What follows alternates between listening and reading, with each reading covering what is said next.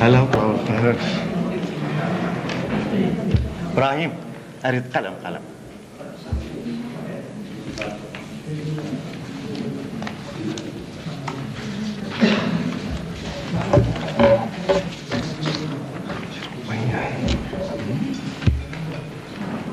أيوه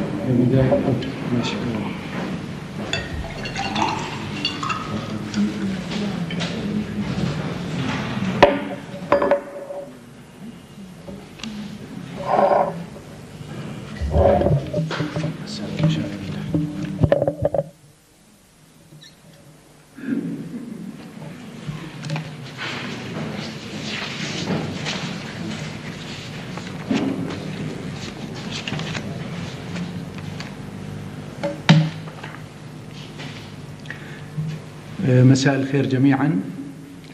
نرحب بكم أجمل ترحيب في إدارة الفنون. ويسعدنا هذا المساء أن نستضيف الفنان الدكتور راشد ثياب والفنان الأستاذ رافع الناصري. لنتحدث عن فن الجرافيك العربي المعاصر. الحقيقة بيسعد دارة الفنون أنه تستضيف ضمن مهرجانها صيف 95 الفنان راشد دياب والفنان يعيش في إسبانيا منذ مدة وهو من مواليد مدينة واد مدني السودان عام 1957 وعام 1978 حصل على بكالوريوس كلية الفنون الجميلة والتطبيقية بدرجة الشرف الممتازة في التلوين. وعام 83 حصل على الأستاذية في الرسم من كلية الفنون الجميلة جامعة مدريد المركزية و 84 ماجستير تلوين كلية الفنون الجميلة جامعة مدريد المركزية وفي عام 87 ماجستير في الحفر من كلية الفنون الجميلة الجميلة جامعة مدريد المركزية وعام 1991 دكتوراه في فلسفة الفنون جامعة مدريد المركزية. والفنان راشد عمل عمل كناقد فني والتحق عام 79 معيدا بمعهد الموسيقى والمسرح في الخرطوم وتلقى منحة من الحكومة الإسبانية للتحضير للدراسات العليا بإسبانيا ومن ثم منحة أخرى من المعهد الإسباني العربي للثقافة. الحقيقة الفنان أقام العديد من المعارض الفردية والجماعية. من ضمن المعارض الفردية نذكر معرض بالمركز الثقافي الإفريقي في لندن عام 1976 و 78 وإلى غاية 87 معرض سنوي بالخرطوم و قاعة بيلا للفنون في دمشق عام 1987 قاعة أورفلي في بغداد تاتو جاليري في نيروبي و كثيتو جاليري مدريد إسبانيا. قاعة رمادي أسود مدريد معرض بالمركز الثقافي الإسلامي عام 93 معرض متكامل من 83 ل 93 بالمتحف الوطني مركز الفنانين الافرو امريكان بوسطن وهناك العديد من المعارض الجماعية شارك فيها ب 93 التعبيرية الإفريقية الحديثة، معرض الفن الإفريقي المعاصر، بناء لفارنا العالمي للحفر، مهرجان لقاء العالم وبفنلندا و العديد من المعارض آه، له مقتنيات خاصة في آه، العديد من المتاحف. نذكر منها المتحف الفنون الجميلة في الإسكندرية متحف فن الحفر المعاصر بالقاهرة المتحف الوطني للفنون الجميلة عمان آه، المكتبة الوطنية مدريد مكتب متحف الأكاديمية الملكية في سان فرناندو ومعهد العالم العربي في باريس المجلس القومي للآداب والفنون الخرطوم وهناك العديد أيضا من المتاحف.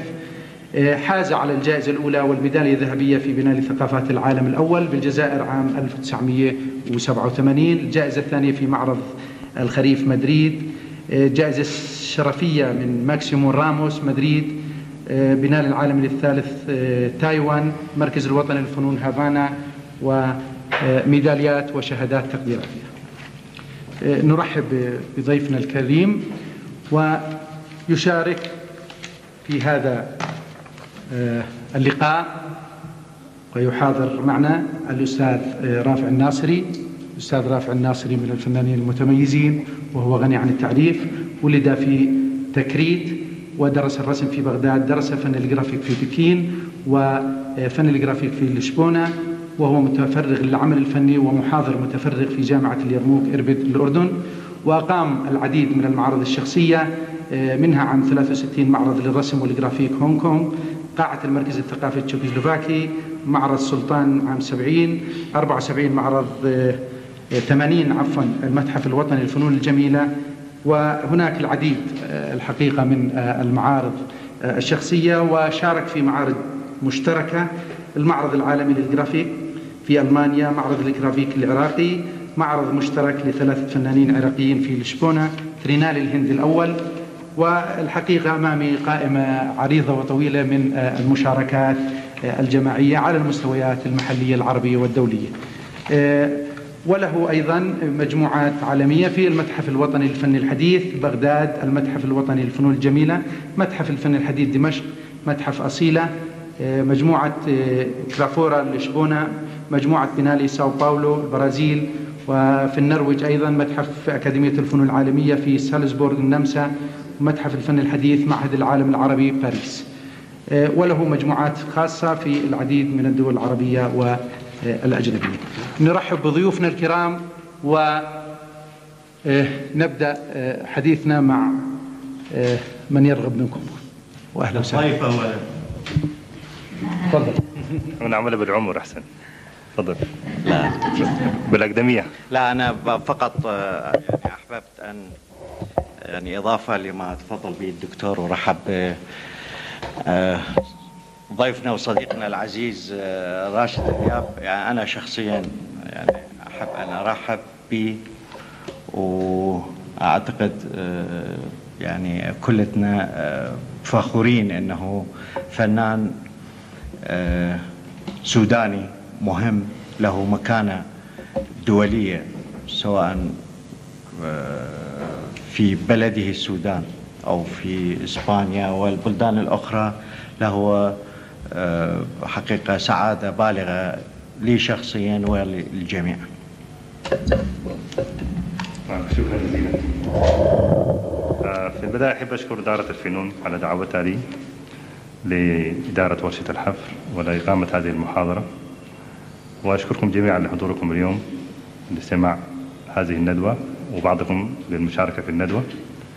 والأخ رافع الناصري طبعا صديق عزيز من بدري وهو فنان تعرفه جيدا وهو غنيا فعلا عن التعريف كما ذكرت. والموضوع المحاضرة اليوم هو فن الحفر العربي المعاصر. قبل ما أتحدث عن الندوة أو المحاضرة أحب أبعث بتحية خاصة للأستاذ علي ماهر. وربنا يشفيه. كنت أتمنى أن يكون حاضر معنا اليوم آه هذه المحاضرة. والحقيقة افتقدناه كثيرا بروحه المرحة وأخلاقه العظيمة يعني. الأخ علي ماهر كان بيتصل بي تلفونيا وكان أصر أنه أحضر أو أقيم هذه الدورة. وكنت أتمنى أنه أشاهد آه موضوع المحاضرة هو بيتعلق بفن الحفر في العالم العربي. والحقيقة الموضوع طويل آه، وبيحتاج لتخصص أو تخصيص بعض الاتجاهات في مجال الحفر والحديث عنها. لكن الحديث بصورة عامة بيتضمن آه، الحديث عن ضرورة آه، الحفر نفسه. بعد شوية الأخ رافع حيتكلمنا عن تاريخ الحفر في العالم وحتى وصوله للعالم العربي. وأنا في البداية أحب أركز على موضوع الحفر كفكرة واختلافه عن بقية ضروب الفن المختلفة مثل الرسم أو التلوين الزيتي أو الألوان المائية. الحفر يعتبر من الفنون ال- القديمة وهي بدأت بوجود الإنسان في العالم منذ الكهف لما كان بيخربش على الحائط وبدأ أول رسوم كانت بالحفر تقريبا لأن هي كانت عبارة عن تثبيت وجود لذاكرة إنسانية في التاريخ عن معنى هذا العقل أو ما وراء العقل. فكانت التجربة الأولى تجربة بتاعت في في احتمالين في آه، النقاد الأوروبيين أو تاريخ ال- الغرب. بيقول إنه الإنسان الأول رسم لأنه كان بيحاول يخلق نوع من السحر حتى يتحكم على ال- الحيوان اللي يصطاده. لكن أنا عندي نظرية أخرى بتقول إنه الإنسان رسم لأنه تراكمت عنده نوع من الخبرة. والخبرة بدأت في الإنسان الأول عن طريق الحفر. بمعنى إنه أول عمل في العالم كان عن طريق الحفر في الصخور أو في العظام أو حتى النقش على ال- الفخار. أو كل ما كان في متناول يد الإنسان الأول. ونترك الجانب زي ما ذكرت الجانب التاريخي للأخ آه، رافع الناصري يحدثنا عن الحفر بعد شوية. واستمر في الحديث عن فكرة الحفر واختلافه عن المواد الثانية. الحفر يعتبر من ال- المواد آه، من ال- ال- التكنيكس الحديثة تقريبا في التعامل من خلال الفنانين العالميين أو الفنانين العرب بالتحديد. وباعتبار أنه دائما يجي في المرتبة الثانية بعد الرسم أو بعد التلوين وخلق اللوحة بالمواد الفنية المختلفة. نحن في العالم العربي الفنانين اللي اشتهروا في عالم الحفر هم أساسا كانوا رسامين في البداية وأغلبهم احتكوا بالحضارة الغربية أو درسوا في الغرب. وبعد شوية في السلايدز أو في الشرائح هنذكر آه، بالتحديد أسمائهم واتجاهاتهم وبعض تأثرهم بالمدارس الغربية اللي هي تحول تأثرهم من آه، العمل الزيتي أو العمل البورتريت وال still life إلى أعمال الحفر. وفي بعضهم تحول تأثيره أيضا من العمل ال abstract أو التجريد إلى الحفر أيضا. لكن هم أساسا الحفر فيه طابع آه، قريب من الإنسان. الإنسان اللي بيبحث عن العفوية في العمل أو بيبحث عن تلقائية أو عن الصدفة. باعتبار أنه مهما كان الإنسان درجة قدرته الفنية يمكن أن ينتج عمل جميل عن طريق الحفر. لأنه درجة العفوية زي ما ذكرت عالية. أو ال ال أو آه السبونتينيوسنس يعني أو ال- تلقائية. التلقائية عالية. فمن الفنانين اللي نحن يعني ممكن نتطرق لذكرهم بعدين وبيستعملوا فقط مع فكرة التلقائية في العمل آه، آه، بعض الفنانين اللي هم ما بيرسموا أساسا. ودي يعني تصور جديد في عمل الفني نفسه. وبيرتبط فعلا بفكرة إنه العمل منبع من الحس الإنساني أو الذوق المباشر ما يحتاج لتدريب معين. طبعا لو كان الإنسان مدرب أفضل إذا كان هو أساسا رسام منتج عمل أفضل وعمل على مستوى آه، مقنن أكثر. في العلاقة بين الفكرة والحفر ال- ال- هذه التلقائية بتؤدي في كثير من الأحيان إلى تطور اتجاه معين عند الفنان نفسه. بمع أنه الفنان في حالة البحث من خلال اللوحة بيجد أنه وتوصل لنتائج وممكن تخلق طريق واضح في عمله. باختلاف كبير عن ال- العمل الزيتي أو العمل الألوان المائية اللي هو بيحتاج لنوع من البراعة ونوع من التمرين الكثير بحيث أنه يتمكن منه ويكون فنان على مستوى آه، متميز يعني. أنا ما عاوز أكثر في الحديث نبدأ في النزهة التاريخية وبعدين نرجع لهذه الأفكار ونناقش الف- الحفر في العالم العرب- العربي. وأنا في رأيي يعني بعدين نتناقش في هذه النقطة إنه ما زال فن الحفر في العالم العرب- العربي في طور التكوين من ناحية كثافة الأعمال أو من ناحية وجود الحفارين ال- العدد الحفارين بالنسبة لعدد الف- الفنانين الآخرين اللي بيرسموا على آه، بطرق أخرى. ونحن نناقش بعد شوية فكرة هل نحن ما زلنا في دور التكوين ال- ال- في مجال الحفر أو هل وصلنا لمراحل آه، يستحق ذكرها. فأرجو أن تفضل الاستاذ رافع يحدثنا عن تاريخ الحفر شكرا.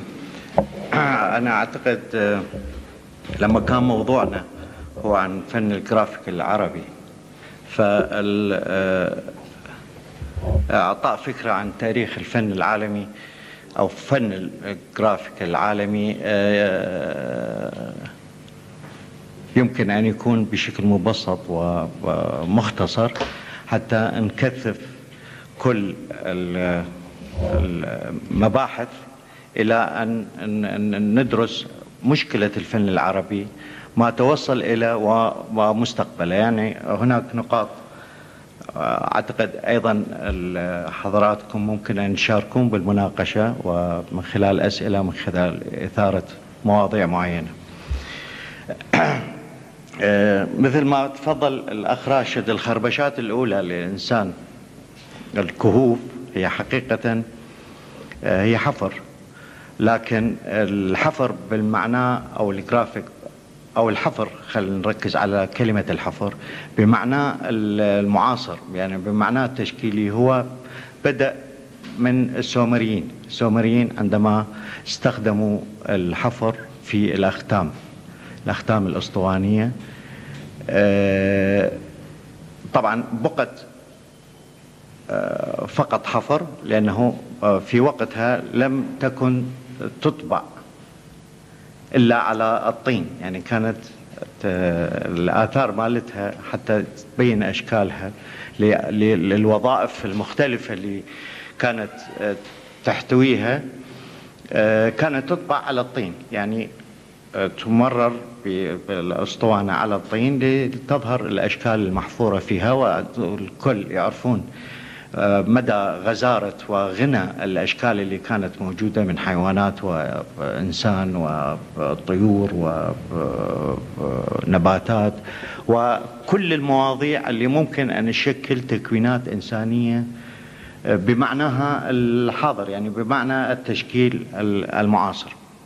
المصريين أيضا استخدموا الحفر آه، طبعا أيضا لأغراض غير الطباعة لأغراض آه، آه، ليست بالمفهوم الطباعي الآن. أول طبعة آه، على الورق اللي بعدين اصطلح عليها graphic art أو printmaking أو أي مصطلح أجنبي ممكن أن نستخدمه هو سنة 808 في الصين وطبعا قبلها كان في الصين أيضا حفر كان على الخشب وعلى الصخر وعلى أنواع ال- ال- ال- وعلى العظام وعلى أنواع ال- المواد الصلبة ولكن أيضا ليست لأغراض الطباعة، الأغراض الط- الطبعة الأولى هي لما اكتشف أو بعد أن اكتشف الورق. النسيج نعم؟ للنسيج يعني كانت نفسها في الأساس. ال- الورق بالذات. ال- وطبعا آه، لأغراض أيضا آه، تخص الكتب يعني مسائل لأجل الثقافة وليست لأجل الفن مباشرة. يعني الكتب حتى تعاد طباعتها لعدة نسخ وطبعا على مستوى ال- العائلة الإمبراطورية وتداول الأمراء ونخبة ال- الدولة. كانت تطبع أعداد من الكتب بواسطة الحفر على الخشب ثم تطبع على الورق. من هنا آه، الحاجة إلى ال- الطباعة أخذت تأخذ مديات مختلفة إلى أن وصلت أن تكون فن بحد ذاته. هذا الكلام آه، أخذ قرون حتى آه، يختمر ويتجلى بشكل واضح. انتقل بعدها طبعا أقرب مكان إلى وأكثر آه، مكان ممكن أن يتقبل التأثيرات الصينية هو اليابان. واليابان أيضا حضارة موازية ولو هي حضارة متأثرة بالحضارة الصينية ولكن من القوة بحيث أنه ممكن أن تستلم التأثيرات الصينية بشكل أفضل من المناطق الأخرى في آسيا. اليابان يبدو أنه آه، آه، تلافيف دماغهم مختلفة عن الآخرين فطوروا هذه التقنيات بشكل مدهش واتصالاتهم بالعالم الخارجي. أكثر من الصينيين نفسهم انتقل في القرن الرابع عشر الحفر على الخشب إلى أوروبا. يعني لأول مرة في القرن الرابع عشر يدخل الجرافيك. يعني بمعنى المحاضر استعمال. الأحماض. واستخدموا أيضا مباشرة بعدها طبعا الأحماض والزنك أو أو النحاس هو اكتشاف أوروبي. ثم تطورت آه، ال lithograph إلى القرن الثامن عشر ال silkscreen إلى نهاية القرن التاسع عشر وبدايه القرن العشرين والتقنيات الأخرى. اللي نعرفها الآن المتداولة آه، العصر أو التقنيات المعاصرة خدمة الجرافيك بشكل مباشر وخدمته أيضا في الانتشار بشكل كبير جدا.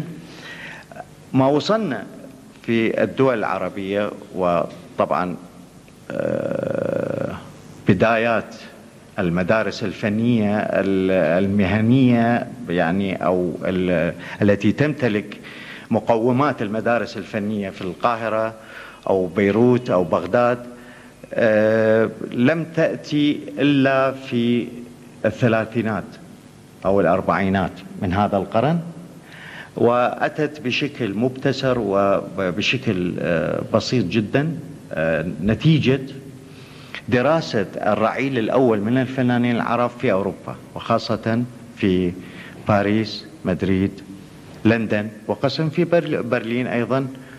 آه، هؤلاء الطلبة درسوا إضافة إلى الرسم والنحت كاختصاص آه، مواد مكملة اللي هي درس الجرافيك وبالذات ال etching اللي هو الحفر بالحامض أو ال dry point والحفر على الخشب.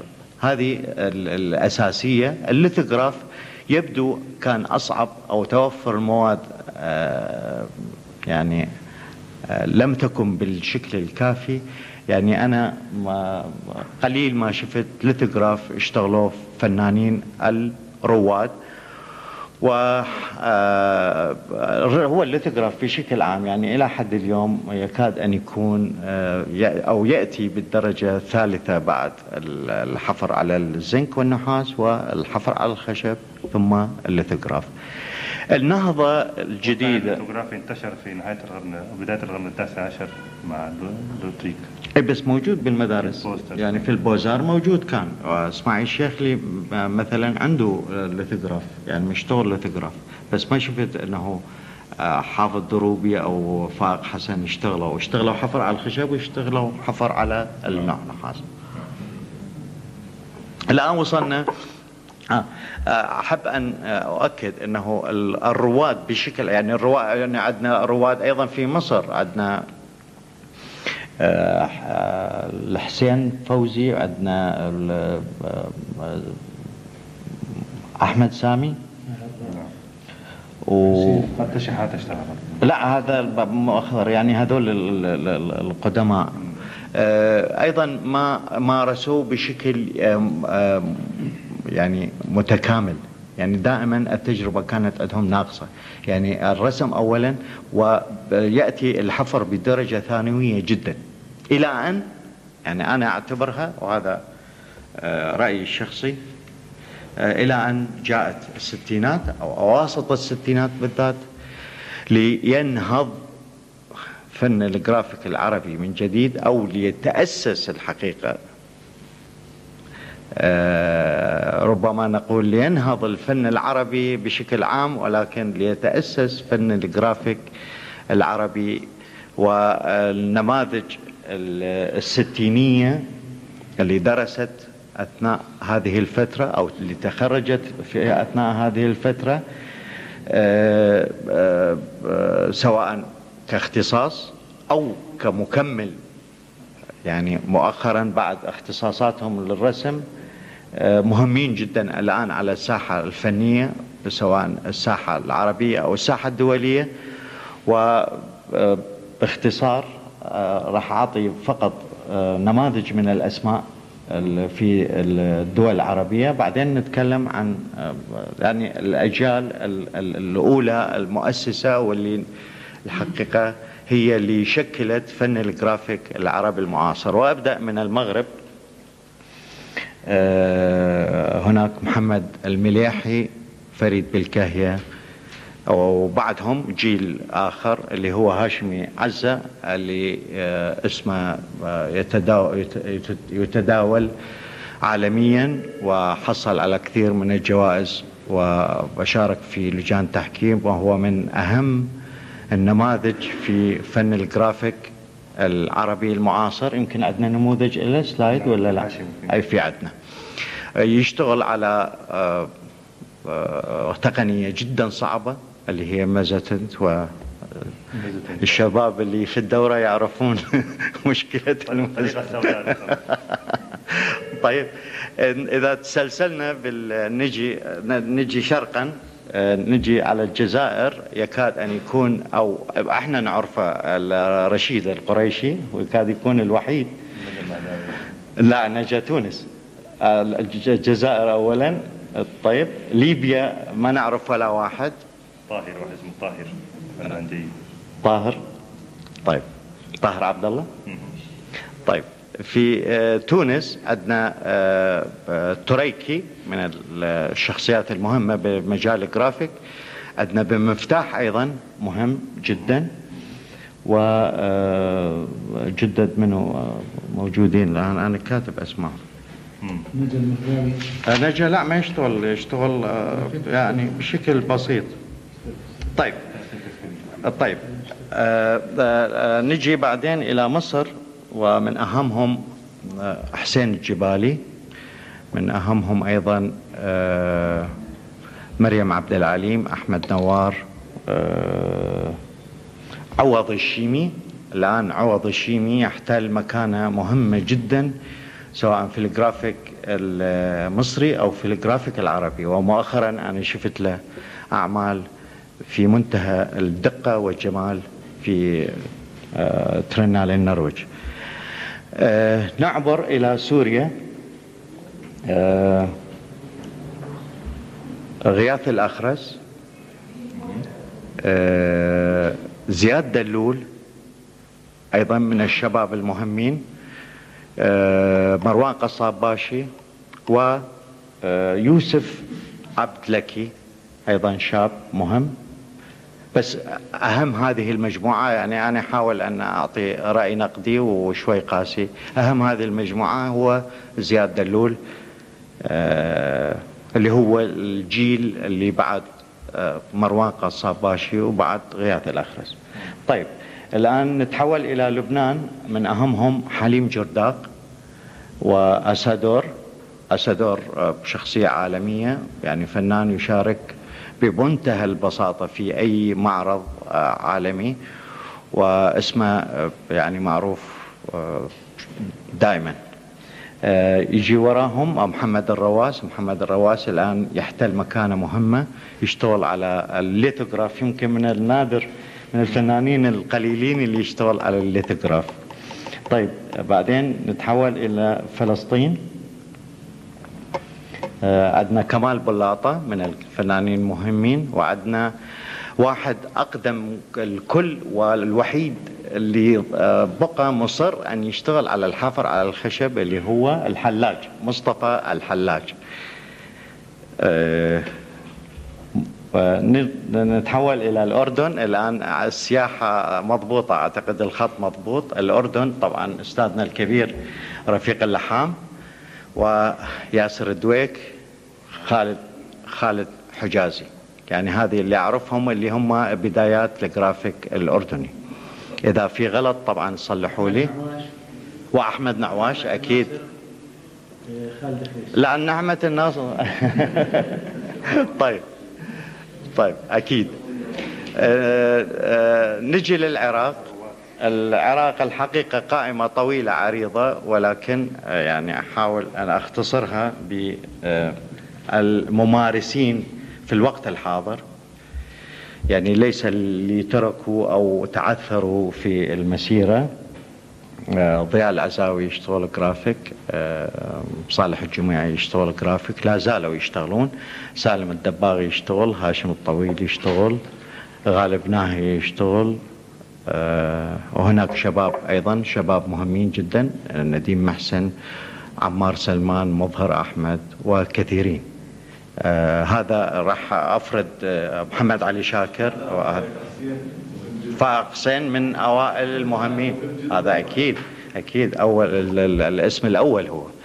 أكيد. لا مكتوب عندي بس آه يعني آه إلى هنا أنا راح أكتفي راح أحول ال ال الكلمة للأخ راشد.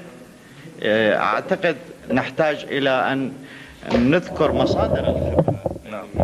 مصادر الخبرة لمجموع هؤلاء الفنانين العرب يعني مصادر مختلفة. فتفضل والحقيقة عندي تعليق بسيط على بعض المعلومات الخاصة بمجال الليثوغرافي أو الحفر على الحجر. طبع الحجر هو مش حفر على الحجر طبع الحجر.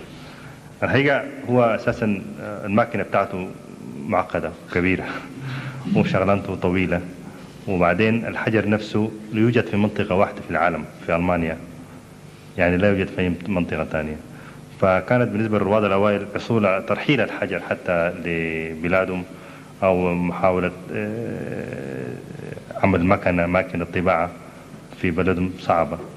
لكن البلد الوحيد اللي كانت فيه دخلت مطبعة الليثوغراف اللي هي مع نابليون في الحملة وهو دخل معهم مطبعتين. منهم واحدة كانت بتشتغل ليثوغراف بيطبعوا بها ال posters بيطبعوا بها حتى الصحف آه، بخرايط وكل آه، الإعلانات يعني. ف فكرة الحفر نفسه قائمة على آه، عملية سهولة الاقتناء بالنسبة للجمهور. يعني قائمة على المشاركة بين الفنان والجمهور أو الشعب. يعني أساسا لما استفادت منها بعض الدول كانت في بداية القرن كان الغرض الأساسي هو تعميم الفن أو محاولة آه كسر آه الحاجز النفسي بين المغتني للوحة الغالية. والفنان المبدع.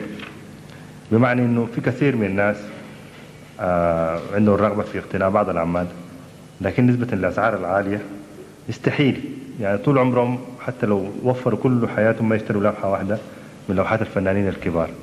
لكن ممكن يشتروا بمبلغ معقول واحدة من ال etchings أو ال prints أو واحدة من الليثوغرافي الطبعات بسعر معقول. وده اللي أدى الأهمية الكبرى لفن الحفر وهو يتناسب خاصة مع الدول ذات الدخل المحدود زي الدول دولنا يعني.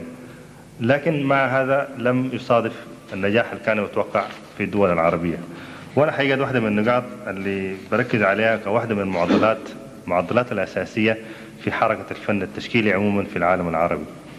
إنه مهما رخصت اللوحة أو مهما غلط ما هو سبب في آه، يعني حركة العمل الفني. لأنه عندنا نحن ناس يتمتعوا بغناء فاحش لكن أيضا لا لا يشتروا اللوحة أو لا يقتنوا اللوحة. فمسألة الحف مرتبطة أساسا بمسألة التعليم أو التدريب منذ الصغر على رؤية الحفر العمل كعمل فني. بمعنى إنه في شعوبنا نحن كعرب درجة التربية الفنية بتاعتنا ضعيفة في المدارس. يعني ما ما في حنتكلم مثلا عن السودان ما في تدريس للفنون اطلاقا. وأتصور إنه بعض الدول العربية برضه ما في تدريس. أنا أقصد بهذا إنه متى عملية الحفظ ممكن أن تكون جزء من الدراسة حتى من المدرسة الأولية وللمدارس المتخصصة كليات الفنون. باعتبار إنه الفن سهل التطبيق. وبالتالي لما يبدأ الإنسان يعود نفسه على رؤية العمل الحفر في مستقبل بيكون عنده رغبة أو عادة عنده وعي بمسألة الاقتناع نفسه بأهمية الحفل كعمل فني. دي واحدة من النقاط الأساسية اللي شكلت حجر أو مشكلة كبيرة بالنسبة لحركة التشكيل الحفل في العالم العربي عدم الوعي بوجوده نفسه. يعني مثلا آه، دولة مثلا زي الأردن ونحن نشكر إدارة الفنون إتاحت الفرصة إنه تكون في ورشة للحف حتى يشتركوا كل الناس بمختلف مستوياتهم ويبدأ بعد التحرك تجاه مفهوم الحفر ومعرفة الحفر يعني افترض كان يكون في أكثر من ورشة وأكثر من فنان بيشتغل حفر للسبب الأول اللي ذكرته إنه هذا الحفر يطبع منه نسخ كثيرة وبالتالي يكون سعره خفيف آه، بسيط ويصل للناس. آه، الفنانين اللي ذكرهم الأستاذ رافع الناصري هم طبعا آه، بشكلوا جيل جيلين جيل ال- البايونيرز أو جيل الرواد وفي جزء ثاني لسه ما ذكروا وهو جيل الفنانين الحفارين الحديثين. بمعنى إنه آه الفن نسيت السودان آسف. معلش لا عارف. بسيطة. الف- في السودان بدأ الحفر في لأنه جنوب شوي صار. أنا معلش. لا أنا ماسك عليك أنا قلت لكن معلش. في السودان الحقيقة الحفر عنده عنده عنده آه ظاهرة غريبة شوية بتختلف من بقية الدول العربية لأنه بدأ بداية جيدة في في مدرسة بخت الروضة اللي هي تحولت لمدرسة الفنون أو school of design مدرسة التصميم واللي هي تحولت الآن لكلية الفنون الجميلة. من سنة 1951 كان عندنا ورشة الحفر تابعة لكلية الفنون الجميلة. آه، والحقيقة لبعض الأسباب التكنيكية أو التقنية توقفت لعدم توفر المواد وعدم اهتمام المسؤولين باستمراريتها لأن هي دخلت آه، عن طريق الاستعمار عن طريق الإنجليز لما كانوا في السودان. وهي آه، يعني عندنا بعض الحفارين الذين تميزوا في المرحلة الأولى وتركوا الحفر بمجرد أن انتهت يعني الورشة. منهم الفنانين المعروفين كرسامين أيضا. آه، مثل الشبرين وكان واحد اسمه الجنيد ومجموعة كبيرة من الرواد الأوائل. لكن أغلب ال- الفنانين السودانيين اللي درسوا في أوروبا أو غالبا في إنجلترا وأمريكا درسوا الحفر. وفي كثير منهم غير معروف لدى العالم العربي ولكن معروفين على مستوى العالم مثل الفنان جمعان والفنان تاج السير اللي هو فنان يقيم مقيم هنا حاليا في في الأردن لكن غير معروف كحفار هو معماري أساسا لكن يعتبر من آه، أجود يعني أو آه، فنان حفار متميز. وبعدين في آه، المعروفين طبعا عندكم محمد عمر خليل اللي هو يعتبر من ال- الناس ال- على مستوى العالمي. وآخرين من الشباب بيدرسوا في ألمانيا وبيعيشوا في بعضهم بيعيش في فرنسا زي حسن موسى وغيرهم. آه، ده موضوع عرضي جاء عشان نوصل موضوع السودان مع مجموعة الفنانين في آه، فالحديث آه، عن فن. الحفر المعاصر آه، بيتطلب يعني نكون صريحين مع نفسنا أنا حقيقة آه، بفتكر إنه لسه فن الحفر بيواجه نفس المشكلة الأساسية اللي هي بيواجهها فن التشكيل نفسه عموما بمعنى هل نتفق أو نعمل فن حفر غربي ولا نخلق فن حفر آه، عربي بتراثنا العربي وخصائصنا ال- المحلية و أم نقلد تقليد مباشر لبعض ال- الاتجاهات في العالم الغربي. والحقيقة في بعض الفنانين وقعوا في حبائل التقليد وآخرين بدأوا يكتشفوا من خلال آه، عملهم كفنانين تشكيليين أو من خلال بحثهم في التراث عن أعمال فنية في الحفر ملتصقة أو متصلة بتراثنا وواقعنا. أنا أتمنى لو قدرنا نشغل السلايدز حتى يشوفوا بعض النماذج لبعض الفنانين. بس قبلها إذا تسمح لي قبلها الظاهر يعني يجب أن يعتذر الأخ راشد بس يبدو أنه كل جنوب أنا نسيته. يعني نسيت السودان نسيت السودان لا المرة الثانية ما حاسبها. نسيت السودان طبعا راشد ذياب ومحمد عمر خليل وكاتبها. نسيت اليمن اللي هو فؤاد الفتاح من من الحفارين المهمين على مستوى الوطن العربي. نسيت الكويت منير القاضي وجعفر إصلاح وسعاد سلطان آه، اياتهم عندي مهمين جدا. نسيت البحرين هناك حركة جديدة في البحرين آه، يعني تكاد أن تكون بدأت في آه، أواسط الثمانينات. آه، جمال عبد الرحيم جبار جبار الغضبان وكل جنوب نسيته فآسف. لا معلش. وأيضا نقطة أخرى قبل ما نعرض السلايدات أحب أن أثبت نقطة تاريخية بالنسبة لمشغل دار- دارة الفنون وهذه يعني مسألة يجب أن تذكر. ويذكر الفضل ل- للمبادرة الأولى لل- للفكرة الأولى اللي هي آه، سمو الأميرة وجدان آه، فكرت بها هذا الحكي سنة 81 في عمان. سنة 81 أنا كنت أقيم آه، معرض في المتحف الوطني وطرحت الفكرة سمو الأميرة وجدان على إقامة أو كيفية تنظيم مشغل للجرافيك. هذا تفكير مبكر بالنسبة لبقية الدول العربية الحقيقة. لكن آه، الظروف لم تسمح وبعد أن آه، يعني جئت إلى الأردن للعمل في جامعة اليرموك طرحت الفكرة من جديد. سنة 91 ويعني حاولت آه، الكثير في سبيل آه، آه، الحصول على مصادر بالأساس ما- مادية ومصادر مكان. المصادر المادية تحققت والحمد لله هذه الماكينة هذه آه، آه، تبرع من الأمريكان إيد وأيضا المواد ال- حصلنا على المواد بس مكان ما موجود. يعني مكان كان غالي بشكل لا تستطيع أو لا يستطيع المتحف أن يؤجر هذا ال- المكان.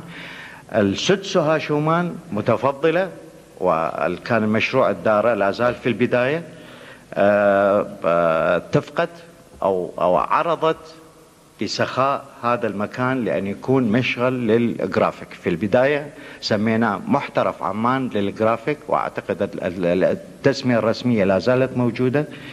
لكن تعودنا على أن نقول مشغل دارة الفنون. طبعا لا ينكر دور دارة الفنون لكن أيضا يجب أن نذكر دائما دور المتحف الوطني ودور سمو الأميرة وجدان في تأسيس هذا المعقل لل- للجرافيك العربي المعاصر. شكرا. شكرا. بالواقع ما حدا بينكر آه، مجهود كلا السيدتين آه، سمو الأميرة وجدان وسهى شومان في عملهم الدؤوب ودعمهم للفن. الحمد لله في عندنا محترف للجرافيك الآن بلش دورات تم عدة دورات فيه. آه، استخدمنا ناس من الخارج مثل لاري توماس. الآن بيسعدنا كمان أنه يكون بيننا آه، الفنان راشد ذياب. آه، ننتقل لل نعم. شكرا. تتداخل في ال... السلام. شوفونا الوان راح عبد الله يعقوب تعرف التركي؟ هو دير تركي؟ تركي الكويدر كويدر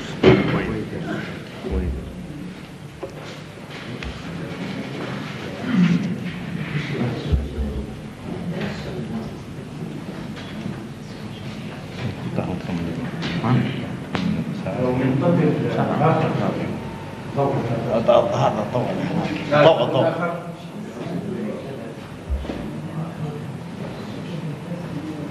إبراهيم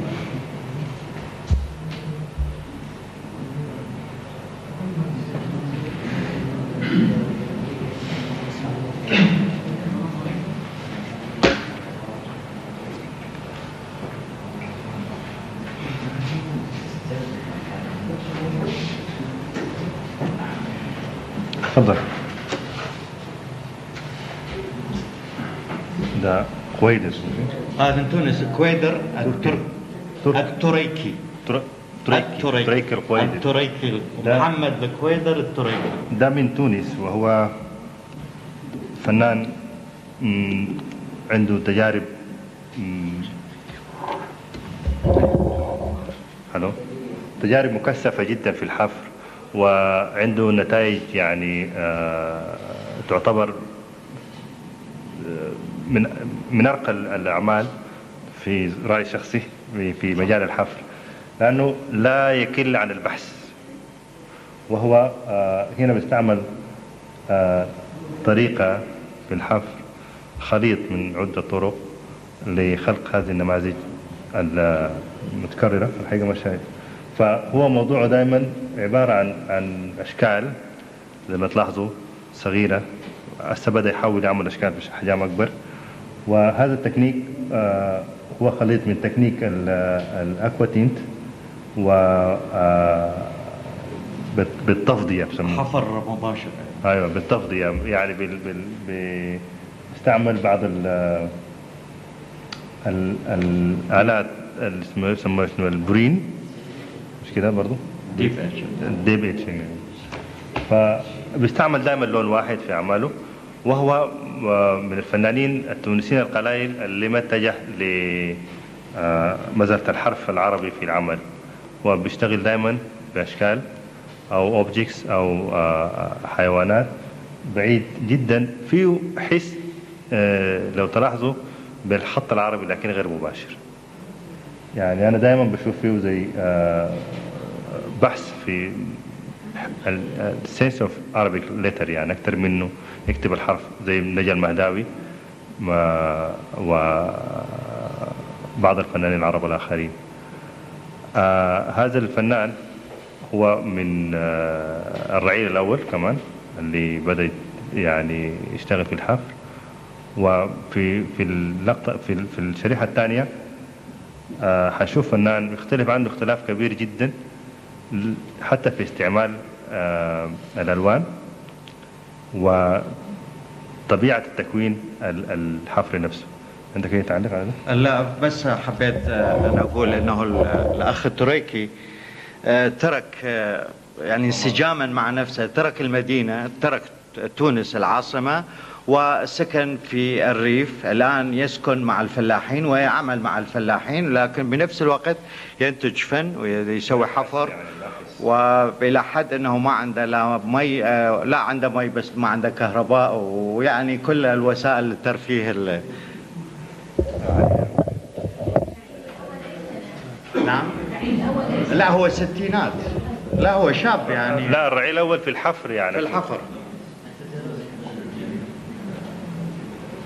أيوه هذا الفنان تعرفوه طبعا هو كمال بولاطة فلسطين قلوب العمل بس لو لو نحط العمل بالشكل الصحيح. كويس كويس وما يفرق ما ولا ما يفرق ما يفرق طبعا كمال بولاطه آه، بيحكي هو عن أعماله بيقول إنه بيصدر غور أو الغور ال- النفس الإنسانية والمشاكل ال- اللي مر بها هو كفلسطيني ويعني عنده بعد إنساني في العمل ولكن لا لا لا, لا يخلو من بعض التأثر بالفن الغربي والإسلامي في نفس الوقت. هو في مشكلة هنا حساسة جدا. اللي هي مرتبطة بإنه الفن الإسلامي أساسا فن تجريدي ولكن التناول الحديث للفن التجريدي بدأ في بداية المدارس التشكيلية في الغرب. فنحن ممكن نرجع لأثر إسلامي في تناول الخط بتكرار وفي آه، استعمال الخط بصورة عامة. وهو دائما يستعمل ألوان آه، متصلة بصورة أخرى لتكوين آه، تكوين أو كومبوزيشن موحد في اللوحة. آه، أستاذ كمال بولاطة طبعا. مقلوبة هاي. مقلوبه هاي تأثر.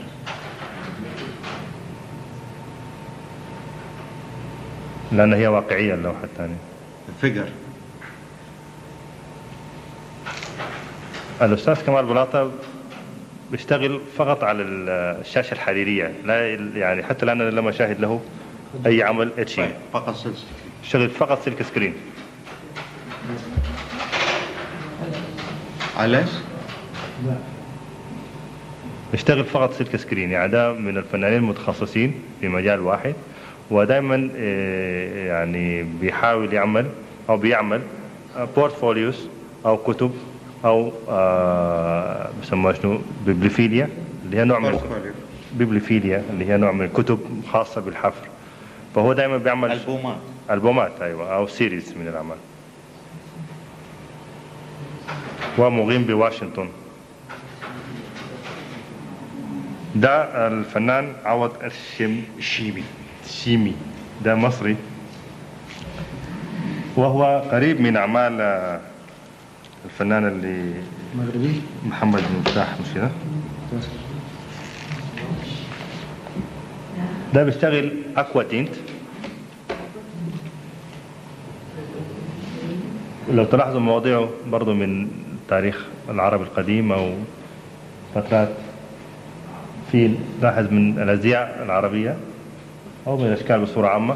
وهو دائما استعمل شكل الدائرة لو تلاحظ في أعماله. دائرة دائرة. ده ده مش ده مش ح- ال- الطريقة السوداء. يشبه الطريقة السوداء لكن ما الطريقة السوداء. ده آه، aquatint. مع مع شغل بال بال بال burin يسمى ال burin. وأحيانا بيدخل ال dry point.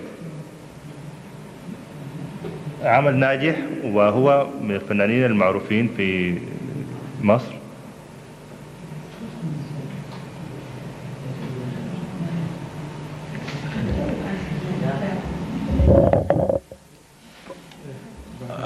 عوض الشيمي من الفنانين الشباب القلائل اللي آه، بقى موضوعه واقعي. والاخ راشد يقول إنه من التراث العربي الحقيقة هو آه، مو بهالشموليه هو أكثر إلى المصري المملوكي. آه، دائما يتناول هذا الموضوع والحقيقة آه، عمارة وملابسا. يعني أنا اللي شفت له مؤخرا بالنرويج هي العمارة آه، المصرية المملوكية.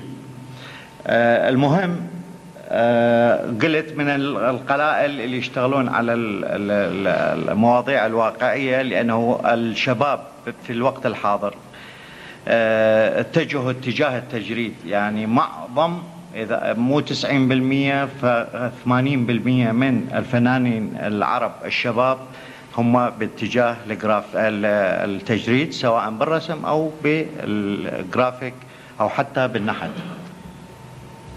يعني يا تجريد يا شبه تجريد. بعض الفنانين في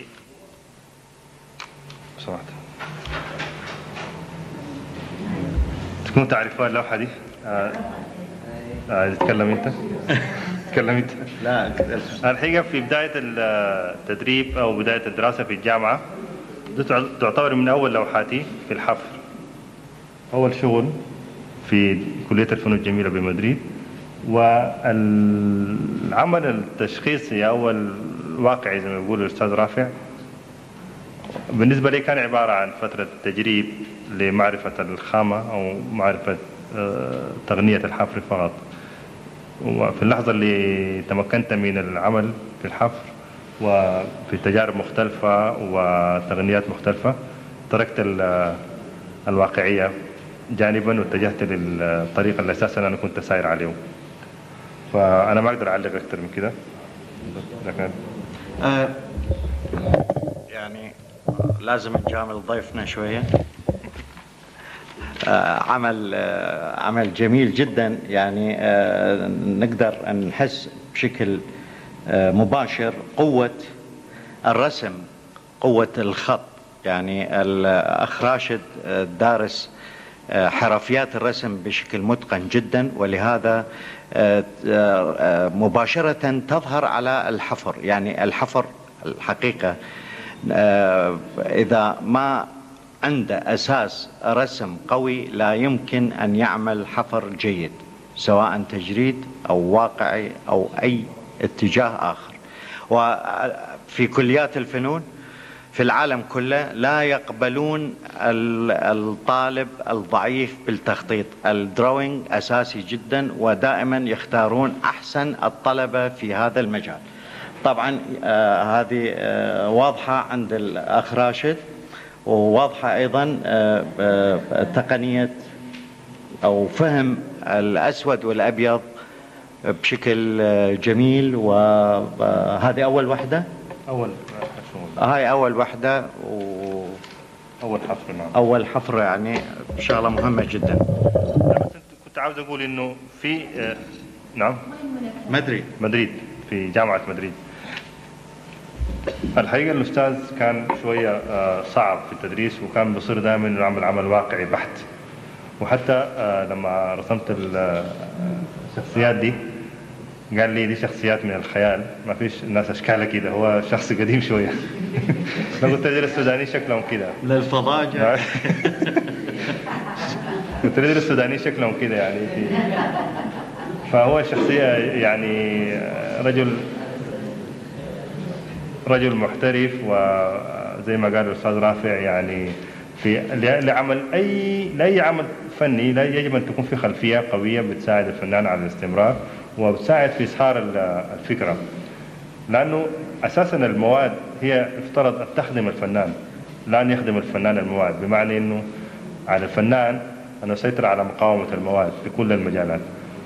وأنا عرضت هذه ل- لسبب بسيط وهو إنه يمكن أن تبدأ للتعلم بطريقة معينة ولكن تستمر في حياتك الفنية وفي عملك الفني بطريقة أخرى. يعني التعلم أو مرحلة الاستدي مرحلة خاصة جدا جدا بيحتاج لها الفنان طول عمره مش فقط لفترة معينة، يعني لازم كل فترة ترجع تمرن يدك وتمرن عقلك وتمرن نفسك وتزود آه، ملكاتك بخبرة حتى تساعدك في تأطير الفكرة ووضعها بصورة صحيحة آه، حنلاحظ أنه عدد الأعمال اللي معروضة آه، عن طريق الشرائح ما كبير لكن كافية عشان تورينا أنه في اتجاهين رئيسيين في آه، أو ثلاثة طرق لكن في في اتجاهين رئيسيين في عمل الحفل العربي المعاصر. تفضل. الاتجاه الواقعي اللي شفنا من أعمال آه، الأخ الشيمي المصري وأعمالي. ده كان في البداية بالنسبة لي أنا. وبعدين للهاشمي ده هذا هو الفنان اللي حدث عنه الأستاذ رافع قبل شوية إنه الفنانين المتقنين ل- ل- للحفل وهو استمر في هذا المجال وبهذه الطريقة يعني. آه هذه الطريقة هي الطريقة السوداء أو الميزوتنت وهي طريقة صعبة. عاوزة صبر وعاوزة آه يعني فكرة واضحة لأن طريقتها هي عكس أي طريقة ثانية في الحفر بمعنى أنك أنت هنا بترسم الضوء. عندك آه، آه، في أي طريقة ثانية عندك المساحة البيضاء وترسم عليها بالأسود. هنا عندك المساحة السوداء وترسم عليها بالأبيض. فيجب أن تكون فكرة واضحة ويجب الفنان يكون عنده صبر وقوة إرادة حتى ينجز آه هذا النوع من الأعمال.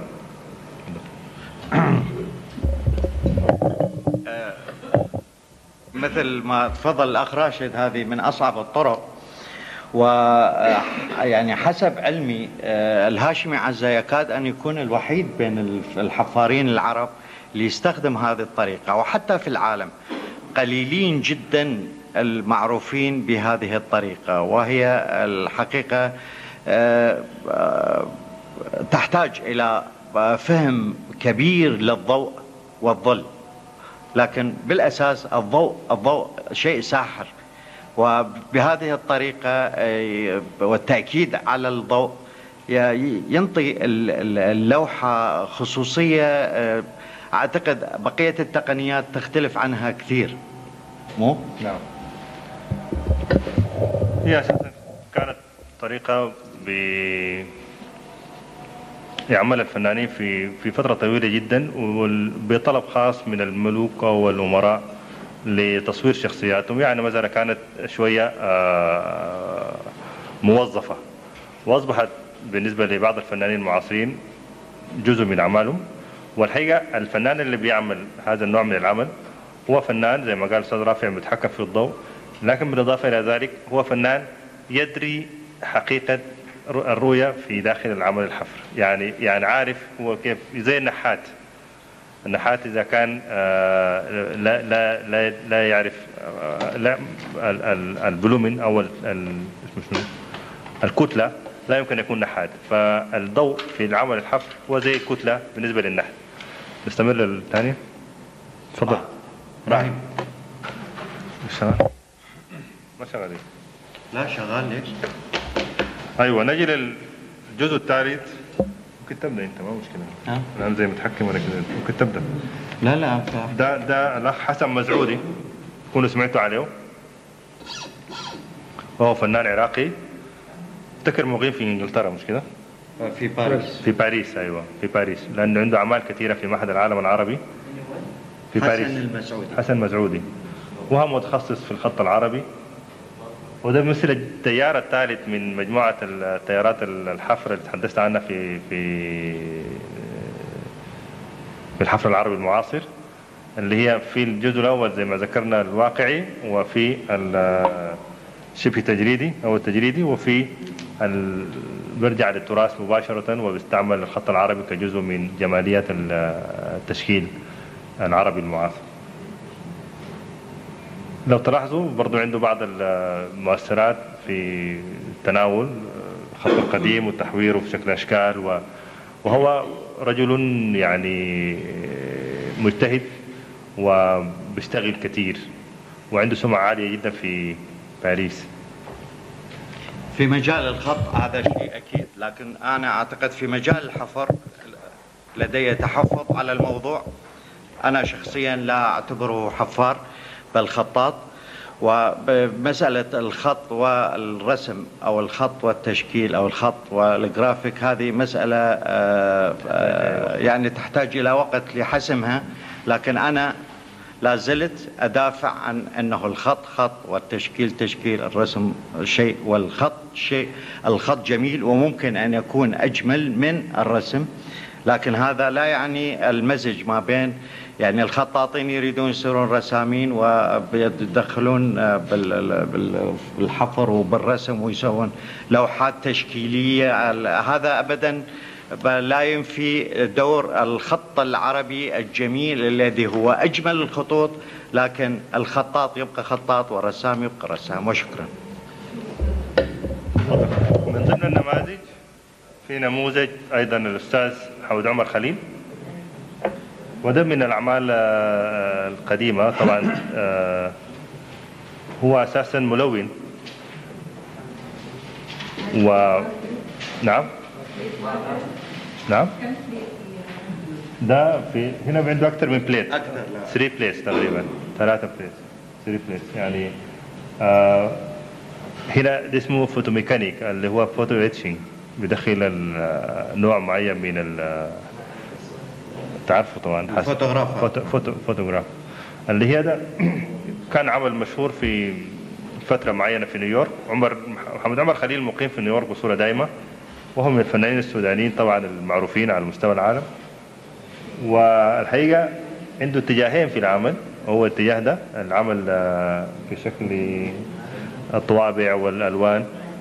والنوع العمل الآخر هو العمل بالأبيض والأسود. وأنا في رأيي الشخصي أعتبر أنه أعماله الناجحة هي الأعمال الأخيرة المساحات الكبيرة والأشكال ال- ال- استعمال استعمال اللون الأبيض والأسود. وهو من ضمن المدرسة الثالثة أو مدرسة التجريد أو شبه التجريد في العمل.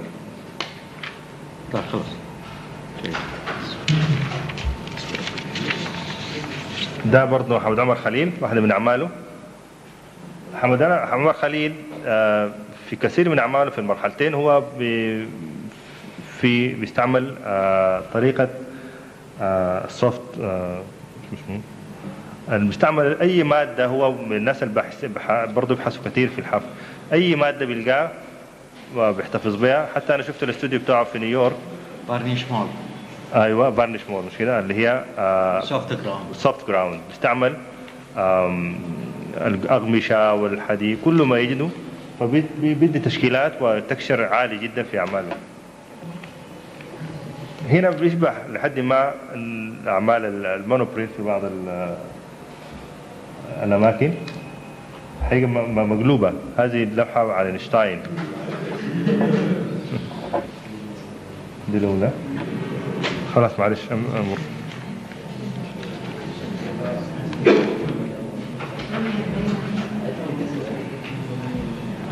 تفضل.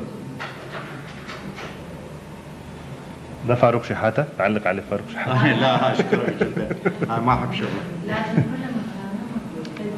لا لا مش كويس. فاروق شحاتة يعني بيتعامل برضه باللونين الأبيض والأسود. وهو فنان مصري يعني آه، أقدر أقول عليه عنده يعني اتجاهات كثيرة في العمل. نجي لل آه، آه، تفضل. وراء الأستاذ آه، رشيد قريشي وهو أيضا حروفي. أنا دائما أعماله بذكرني بالمخطوطات القديمة. يعني زي متأثر بالمخطوطات العربية القديمة. وأعماله كلها أكوا تنت. يعني بعد ما يعمل حفر بالحماض بيعمل عليه الرزي- الرزين. وبيطبعه وهو آه، من الفنانين المشهورين معروفين عالميا أيضا. ده بينتمي لمدرسة الحرف العربي. أنا عاوز أختصر بعدين. نعم. تفضل الصيني هو متأثر بالخط الصيني. مدثر مدثر بالخطوط اليابانية والصينية. لا لا طبعا لا طبعا. أيوة. طبعا. هو الحقيقة آه، مو فقط الخط الصيني أيضا الخط أو نوعية الكتابة ال- آه، يعني نعم تفضل. بالمغرب آه، ما عاونين. أي. أي، يعني بربرية البربرية. مقلوبة.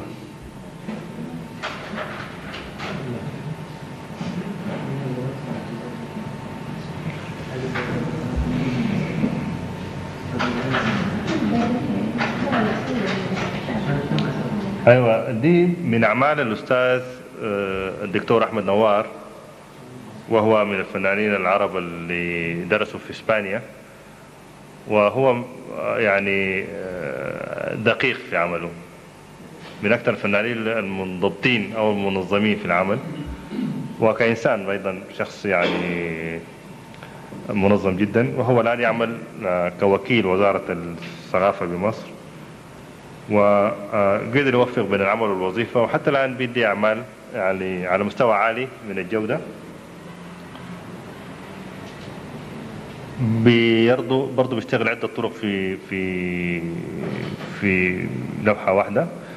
عادة الخلط بين التقنيات المختلفة هي حاجة بتهم كل فنان على حسب الرؤية حسب الفكرة. هنا بيعمل dry point في شغل دقيق جدا. وبيعمل آه، aquatint وبيعمل آه، تقطيع لل plate. يعني هذا نفس ال plate بيقطعوه؟ فبدي أشكال جميلة بارزه وحقيقة نوار يعني يعتبر من مؤسسي حركة الحفر في العالم العربي لأنه بدأ من بدري من من نهاية السبعينات ظهرت اعماله مفتكر وهو من الفنانين المستمرين في الإنتاج. وأنا حقيقة بعد أعماله الأخيرة يعني حصل بعض التحول في أعماله. بدا بدأ يدخل أكثر الألوان في أعماله وبالإضافة لذلك آه، لا زال متشبث بفكرة الإنسان ال- المركب أو ال- أو فكرة العمل. ال- ال- تلاحظوا في في في في في الجزء الأول من اللوحة في زي شكل إنسان آم، آه، يعني في في الفضاء أو فكرة ال- الإنسان اللي آه، على الأفق. في بعض التأثير الإسباني على أعماله من بعض الفنانين الإسبان. يعني آه، المجال ما يسمح بذكر اسمهم. لكن في حاليا بدأ يعمل أعمال آه، أكثر جودة في رأيي. آه، أحمد نوار واحد من حقيقة من رموز آه، فن الحفر العربي المعاصر وهو آه، آه، له إمكانية هائلة بال- بالرسم بفهم الأسود والأبيض بفهم الكتلة والفراغ وأيضا تاريخيا يجب أن هذا هذا هذا مو هو. أنا بدي أحكي على أحمد نوار رجالي من فضلك. آه، أحمد نوار كزملاء آخرين درسوا في سان فرناندو اللي أعتقد أني هذا واحد من المصادر المهمة مدرسة سان فرناندو أو كلية سان فرناندو في مدريد الأكاديمية الفنية في مدريد خرجت فنانين عرب مهمين جدا على مستوى الرسم أو مستوى الحفر. ففائق حسين من العراق أحمد نوار من مصر راشد دياب من السودان آه، جعفر كاكي من العراق. آه، أكو آخرين أيضا.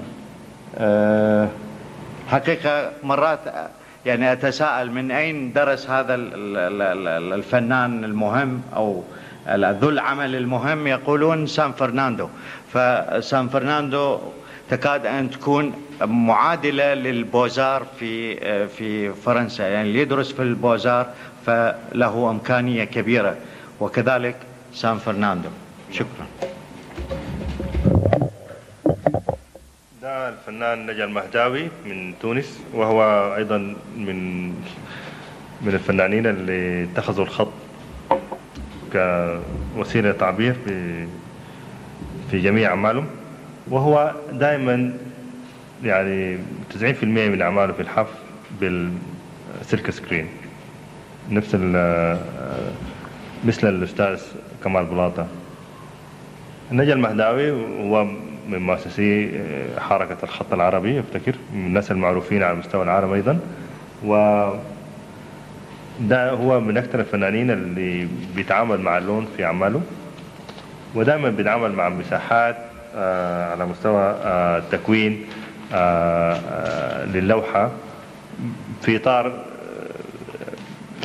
تصوير أكثر منه خطي بمعنى أنه يختلف عن بعض الفنانين الآخرين. اللي زي ما ذكر الأستاذ رافع يعني يفترض أنه يكون خطاطين فقط أو رسامين يعني ما يخلطوا المسائل. هو الحقيقة الأستاذ نجا المهداوي برضو من الناس المجتهدين الدؤوبين على العمل التشكيلي.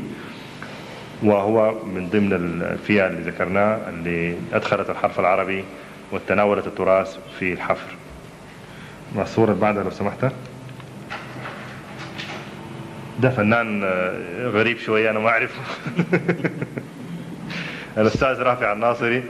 طبعا يعني هو من الدعائم الأساسية في حركة الحفر وهو مدرسة قائمة بذاتها والحقيقة أثر إنه علاقته باللون أو عمله كملون أتاح له الفرصة إنه يقدر يبدع في الحفر ويقدر يتحكم في درجات اللون وفي حتى الكومبوزيشن أو التكوين عنده يعني يحمل دلالات وقوة متميزة في عن جميع وأغلب الفنانين العرب المعاصرين.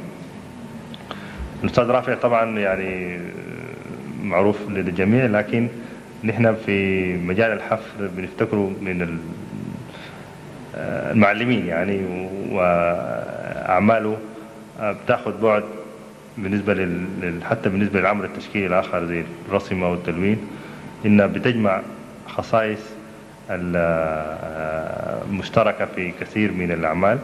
بتجمع خصائص ممكن تقول على إنسانية وأبعاد قوية أنا ما أحب أقول أكثر من كده لأنه فهو أستاذ رافع من المدرسة الثانية هي شبه التجريد. بس مع شوف آخر واحدة.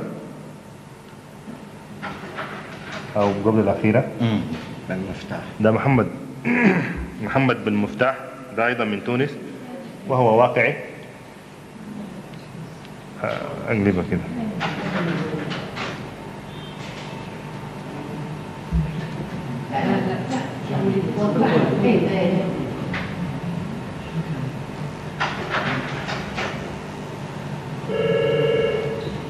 هذه اللوحة اسمها الخيمة.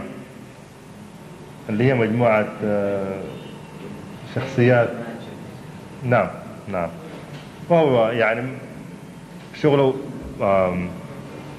اتشينج على دائما بيشتغل بالأبيض والأسود. وهذا شغل في مرحلة قبل افتكر سبع سنوات أو في الثمانينات يعني. نعم. نشوف آخر شغل لو سمحت عشان نحن الزمن شوية.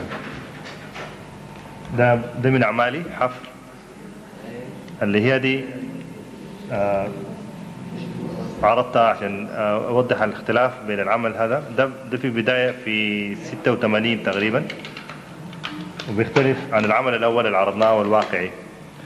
ال- آه، الغرض من هذه السلايدز واضح وهو أن هناك اتجاهات متعددة في حركة الحفر العربي عموما.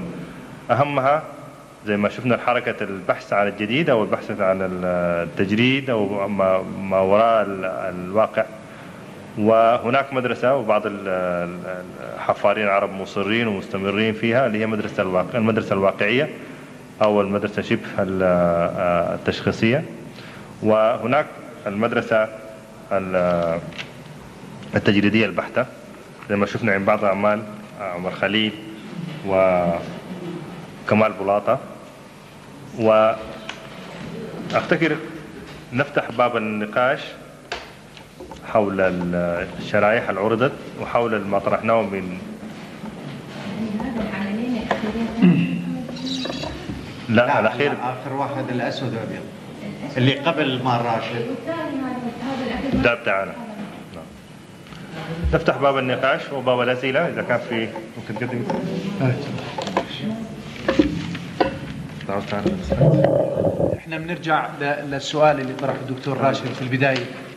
إيه، هل فن الحفر إيه، العربي المعاصر في. طور التكوين؟ هذا السؤال إيه، بنرجع نطرحه عليك ثاني مرة. أيوه. أنا حقيقة عندي رأي محدد جدا في مساله ال- الفن التشكيلي عموما في العالم العربي. أنا أفتكر إنه الفن العربي لم ولا يزال سوري لا يزال في مرحلة البداية بمعنى إنه لم ينصهر أو يخلق آه، قيم جمالية واضحة م- يعني يمكن يميز بها الفن العربي كفن عربي. أنا لا الرم- النماذج أو الرموز بقدر ما أقصد الحركة عموما كفعل إنساني عنده بشكل تيار معين. فلسه نحن في مرحلة الانصهار بننصهر لسه لكن ما شكلنا القالب اللي يمكن نعتبره فن عربي. في بعض الإرهاصات بتتناول بعض الجوانب في الحركة التشكيلية العربية باعتبار أنه بعض الأشكال أو آه، الرموز أو التصورات هي آه، ترجع لخصوصية عربية. لكن عموما أنا بتصور أنه لسه لسه في حوجة شديدة للصهر الكامل حتى نقدر نخلق الفن العربي المتميز. أي سؤال تحبوا تطرحوا تفضل.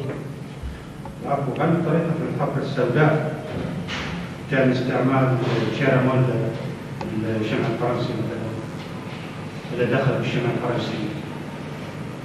طريقة الشمع الفرنسي هو نغطي الزنك في الشمع آه، يكون آه، لين شوي يعني كثافة ألين من الشمع الآخر. بعدين نخلي ورقة على الشمع ونبدي نرسم على ال trace ال paper أو فوق الورقة لا. قلم رصاص اذا تسمح لي قلم رصاص اذا تسمع اللي اللي تتكلم عنه اللي هو vernis mou اللي هو soft ground soft ground غير ال- ال- الطريقة السوداء. الطريقة السوداء اللي هي mezzotint mezzotint القطعة ال- ال- الزنك آه، تنحفر بال rocker على نقاط نقاط نقاط نقاط بحيث تشكل لك قطعة سوداء. كاملة سوداء كاملة وتبدأ بالحفر الأبيض ال- الضوء. الضوء شوي شوي شوي شوي إلى أن يكمل الفوم يعني قشط قشط خفيف خفيف. يعني شغلة متعبة ويحتاج لها إلى دقة وإلى معرفة مثل ما قال الأخ راشد معرفة أنت إيش دا تسوي؟ من شلون النحات يعرف من هذه الكتلة إيش راح يطلع؟ وهذه من هذا ال- ال- القطعة السوداء إيش راح تطلع من آه، أشكال؟ دراية مسبقة. دراية مسبقة. آه. ما بيها غلط. من تغلط آه، خلاص آه، تنعدم.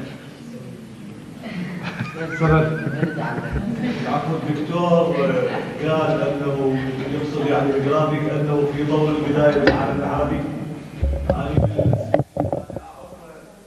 الفن الجرافيك العربي متطور جدا لكن ما شفناه هنا لا يعني الفن الجرافيك العربي الا قليل يعني إحنا على الستينات جامعه فنان جرافيك عرب في قال في لا، لا، ما قال. طور التكوين. طول التكوين. يعني تختلف. أنا شوي. يعني التكوين مش قد يستغرق يعني أنا قبل 30 سنه اعرف الفن العربي واضح لو قبل 30 سنة آه، 30 سنة بالنسبة ل حلوة دي،. تقاس يعني. يعني إلا مليون سنة؟ نعم. إلا مليون سنة لا ولا. لا إحنا فن الحفر آه، آه، الأستاذ أمين. عارفين هذا ال- ال- الحكي إنه جاءنا من من الغرب. هذا مضبوط الكلام. وإحنا لم نكن نعرف. وهناك في معوقات آه، كثيرة آه، أدت لعدم انتشار هذا الفن.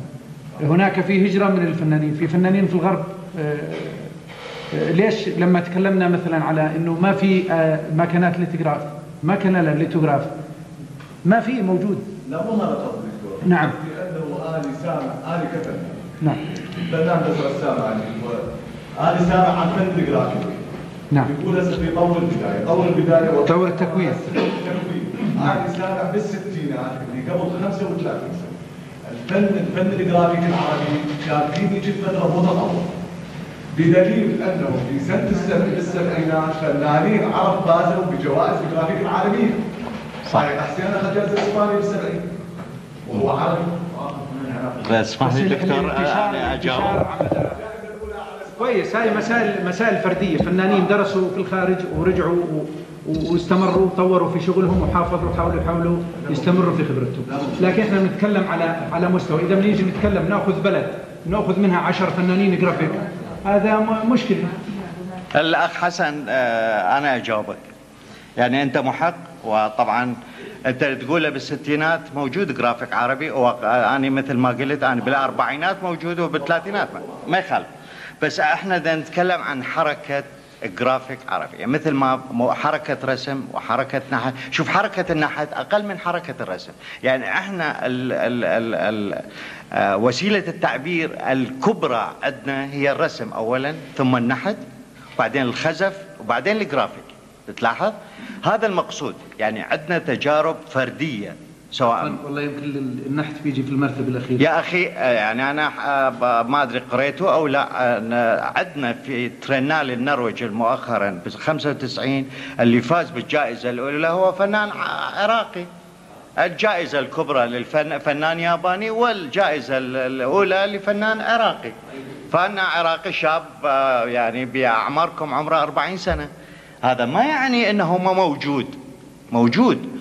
وفنانين كثيرين حصلوا على جوائز عالمية أو شاركوا بمعارض عالمية. هو الحقيقة أكو مبحث إنه ال- الفنانين العرب ومساهماتهم الدولية. عندي مكتوبة بس ما الوقت ضيق جدا. يعني الجرافيك العربي معروف أصلا على مستوى العالم لكن في حدود أسماء معينة واشخاص يعني تكاد أن تقول واحد اثنين ثلاثة أربعة خمسة إلى حد يمكن عشرة أو 15 واحد؟ نعم، مو؟ نعم. يعني مو أكثر. إذا هذه مو حركة أما شكل حركة. هذا المقصود بها. تفضل. تفضلي، اسمع تفضلي.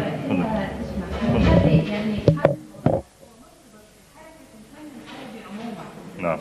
يعني أنت تقول أنا فهمت أنه تقول إنه لا يوجد حركة فن تشكيلي عربي متميزة.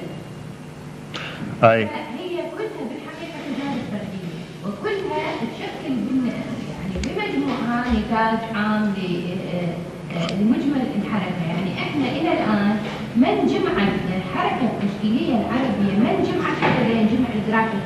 يعني الجرافيك تحصيل حاصل راح يكون. الجرافيك ضمن الحركة التشكيلية. يعني ما راح تعزله أنت. في كل الأحوال.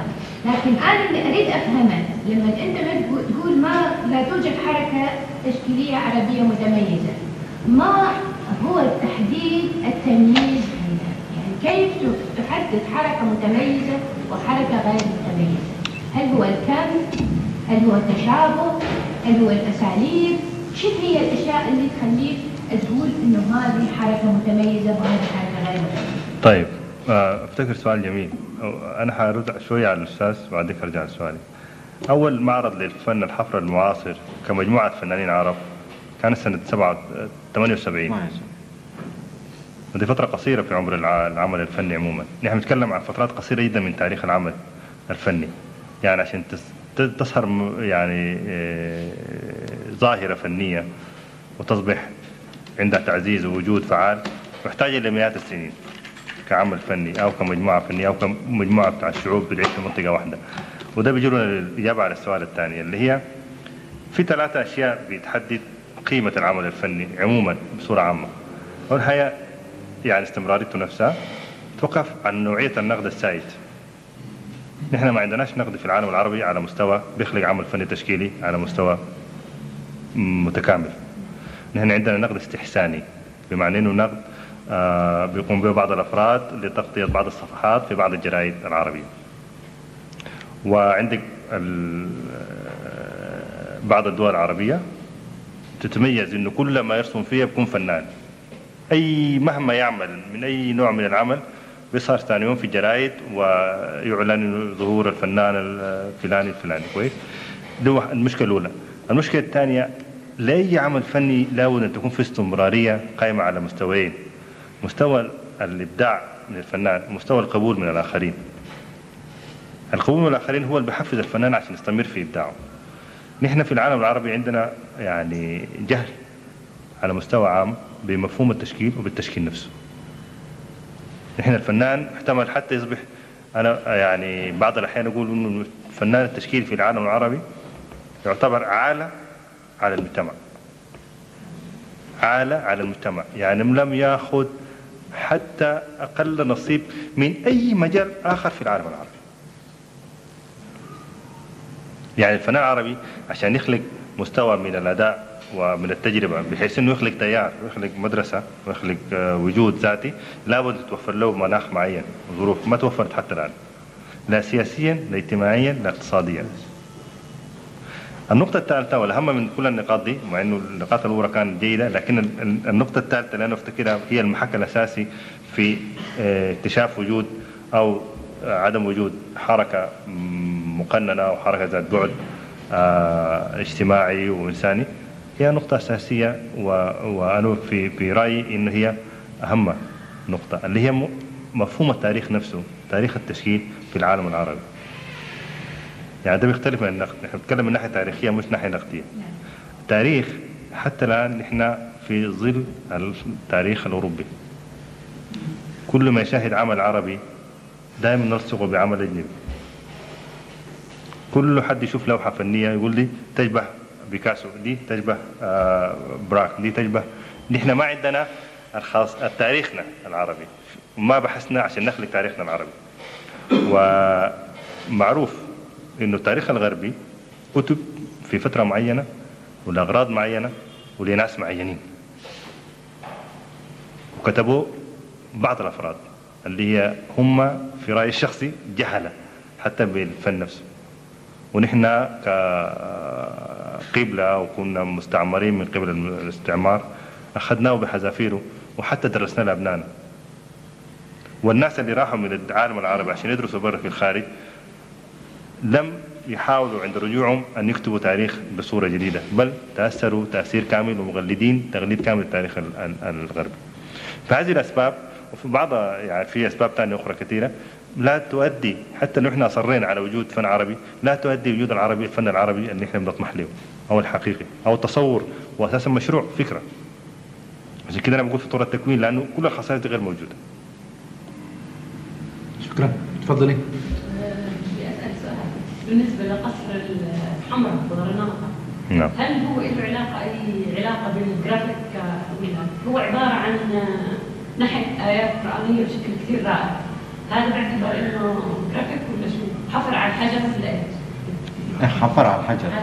فعلا. يعني ما له علاقة بالجرافيك ابدا. لا. لكن لكن في في لو في الطبيعي ما يخالف. إيه اذا تطبعي على ورقة يصير جرافيك هم طبعوا طبعوا طبعوا على بعض ال- المخدات والستائر مطبوعة. مطبوعه بس- بجرافيك يعني شغل على الخشب مطبوع. اي وده أثر طبعا جاي من من الفا- بلاد فارس وجاي من الصين. في في بعض الطباعة لكن مش عمل جرافيك مطبوع على ورق اللي هو ده ظهر زي ما قال لا مش جرافيك كده بالمعنى الصحيح. تفضل. تفضل. العفو رايكم مين أكثر الليثوغراف أو ال etching؟ ال etching ال etching اقدم من هو الليثوغراف اكتشف باكتشاف الحجر حاجة للليتوغراف والعلاقة بين الدهن والماء. هي الأغراض طباعة يمكن كانت كمان وال... يعني كانت كانت مثابه مطبعة طباعة للكتب وبعدين رسوم توضيحية و... واشتغل فيما بعد. إيه أي سؤال؟ ع- عالم كيمياء وليس فنان. بالصدفة. صابون لا ما يدهن شاف واحد ما يتفاعل ويا الآخر يعني في بعد شيء وبهواية القرن الثامن عشر ال- ال- الليثوغراف هذاك بالرابع عشر. أربع قرون. طيب نشكركم على حضوركم. نشكر الأستاذ رافع الناصري والدكتور راشد وسهلا.